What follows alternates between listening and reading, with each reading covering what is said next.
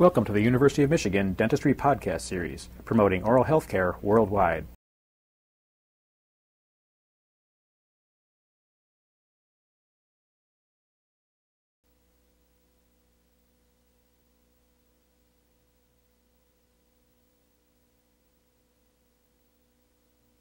The purpose of charting a patient's mouth is to accurately represent the teeth and surrounding structures on paper.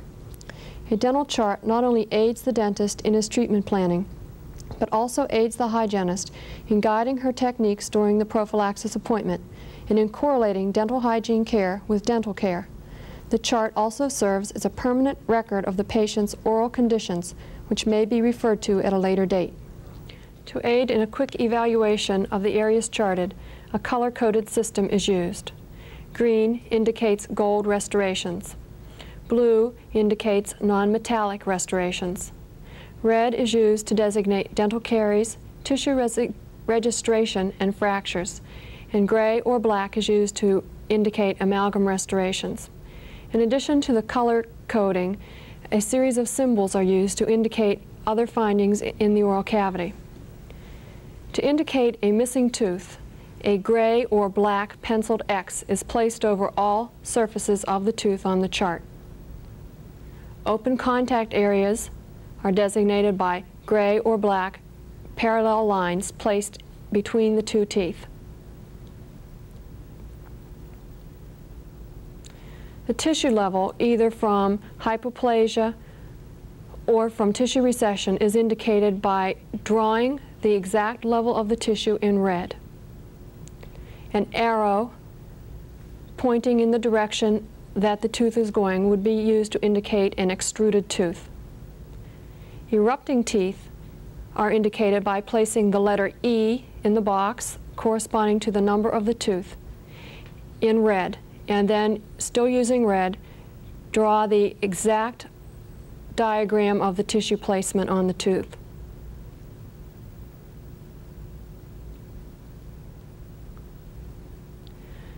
Drifted teeth are indicated by drawing an arrow in the direction of the drift. And rotated teeth are designated by drawing an arrow in the direction that the tooth is rotated. The restoration which you will be charting most frequently is the amalgam restoration or the silver filling. The first type of amalgam restoration is the Class 1 restoration. Class 1 restorations may appear as two single restorations in the occlusal pit a mesio-occlusal restoration and a disto-occlusal restoration. Or you may find the entire occlusal surface as one large restoration. The class 1 restoration, the interproximal surfaces are not involved.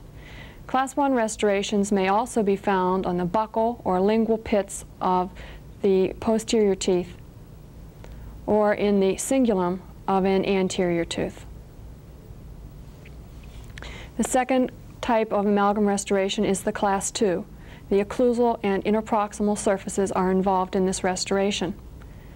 Notice that when this restoration is diagrammed, the restoration extends all the way over past the marginal ridge on the occlusal view of the diagram, but is not shown on the buccal or lingual surface unless we have a situation in which the restoration wraps around the tooth surface, as you see here. We would then indicate that restoration by drawing the view where we see the, the amalgam.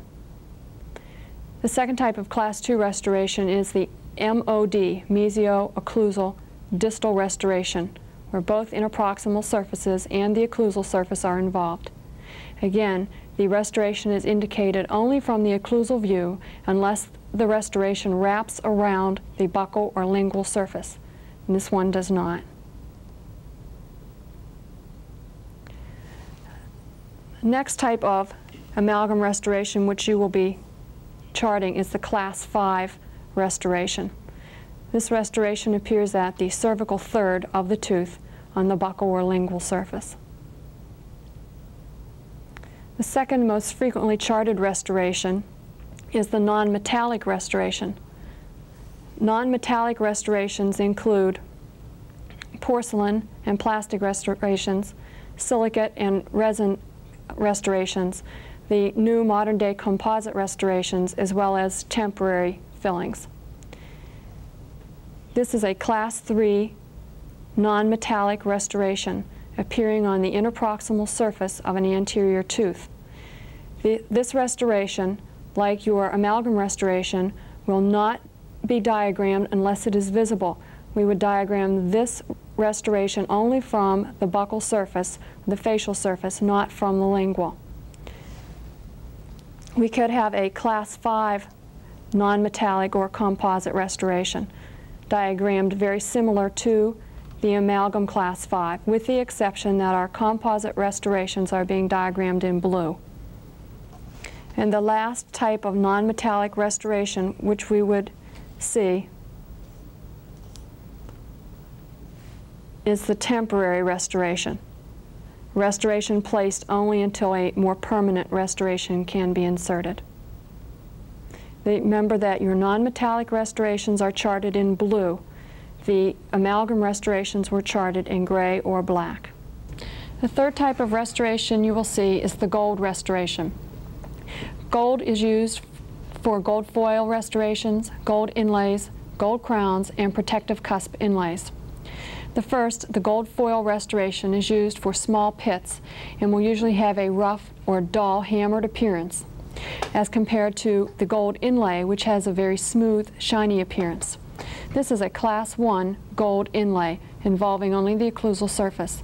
It is charted identically to the amalgam restoration except that gold restorations are charted in green. The second common type of gold restoration you will see is the class 5 or the cervical third of the tooth restored in gold. The next type of gold restoration, which you will see most frequently, is the class 2 inlay. Class 2 inlays can be your simple inlay, the MO or DO, or the complex class 2, the MOD restoration. These are diagrammed exactly as you would a class 2 amalgam restoration, showing the restoration only from the occlusal view unless the gold actually wraps around the tooth on the buccal or lingual surface. In addition to the simple types of class 2 restorations, we can have what is called a protective cusp inlay. This is an MOD protective cusp inlay.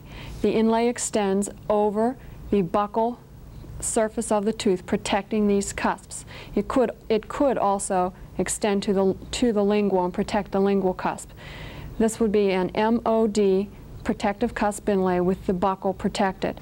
When these are diagrammed, the green um, diagramming must extend over the surface that, it, um, is, that the gold is covering. In addition to the inlay, we can have various forms of crowns. The first would probably be the three-quarter crown, in which the facial surface of the tooth or any surface of the tooth that does not necessarily have to be restored is left in its natural form. On this one, the buccal surface has been left in its natural form. The interproximal surfaces and the lingual surface have been covered with gold. This would be referred to as a three-quarter gold crown. In addition to a three-quarter gold crown, we could have what is known as a full gold crown. The full gold crown provides maximum protection or coverage for the tooth.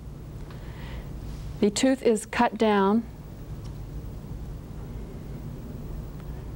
and a new crown is designed from gold.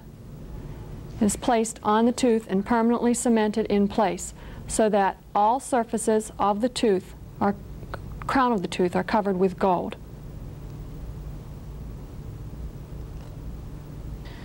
Crowns and inlays in various combinations can be used to create what is known as a fixed or permanent bridge. A fixed or permanent bridge is a non-removable replacement for a missing tooth. In making a fixed or permanent bridge, the teeth are cut down or prepared and the crowns for the areas to be restored are made and then soldered together. They are then permanently cemented into the um, area where the tooth is missing. The, the bridge may be made of all gold or be, may be made of a combination of various materials.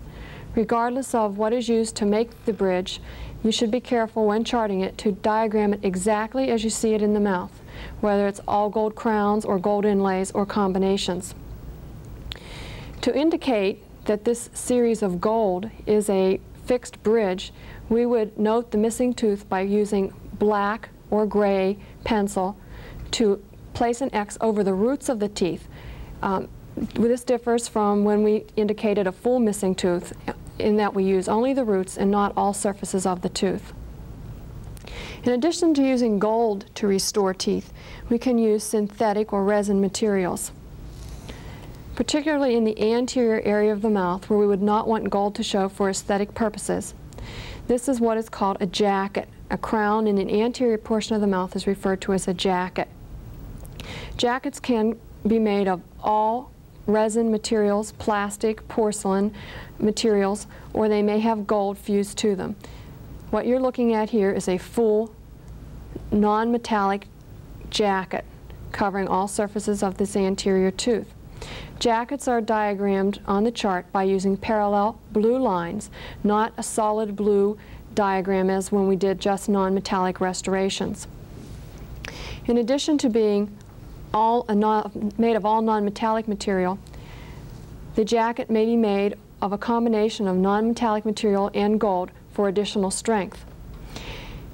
In addition to giving it strength, the non-metallic material on the facing of, of this jacket provides an, an aesthetic value for the patient so that when they smile, the gold material is not seen.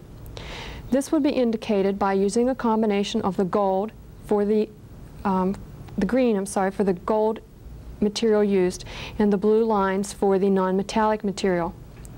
In addition, you will sometimes see a small gold band encircling the non-metallic material. This would indicate to you that the crown or the jacket is a porcelain or non-metallic material fused to gold. Be sure to indicate this gold band when diagramming the tooth. There are several additional oral findings which you will need to chart. The first is decalcification. Decalcification is charted by placing a circle with red in the appropriate place on the tooth, drawing a line and writing the words decal. A partial denture is charted by placing an X over the root of the missing tooth, drawing a line to indicate the placement of the clasps on the adjacent teeth, and then indicating the replacement teeth appropriately, either with blue to indicate non-metallic as we have here. If this partial denture was composed of gold or any other materials, you would have to indicate it by the appropriate colors. A fractured tooth is indicated by using a jagged red line in the appropriate area of the fracture. If we have a fracture over a restoration, we draw the restoration just as we see it in the black color and then use the red to draw a jagged line through the restoration right in the area of the fracture. Finally, we'll want to chart caries. When we have an area of decay around a restoration, we first draw the restoration and then encircle the restoration with red. This will be referred to either as recurrent decay or you may hear the term a defective restoration. Caries in a tooth that has not been previously restored is indicated by a solid red area in the area of the decay. And the last thing that you'll want to know how to chart is a full denture. A full denture is indicated by drawing a line through all views of the teeth, buccal, lingual, and occlusal, and writing the word denture in the space between the occlusal views. Finally, I'd like to show you how a chart that has been completed on a patient should look. You will have a variety of findings using your various colors to indicate porcelains, non-metallic restorations, golds, and all the symbols necessary to indicate all the findings in a patient's mouth. You've been listening to a presentation from the University of Michigan School of Dentistry, which is dedicated to supporting open learning and open educational resources. This recording is licensed under the Creative Commons. It may be reused and redistributed for nonprofit use. Please attribute materials to the University of Michigan School of Dentistry and redistribute under this same license. For more information on how this and other University of Michigan School of Dentistry recordings may be used, visit www.dent.umich.edu/license.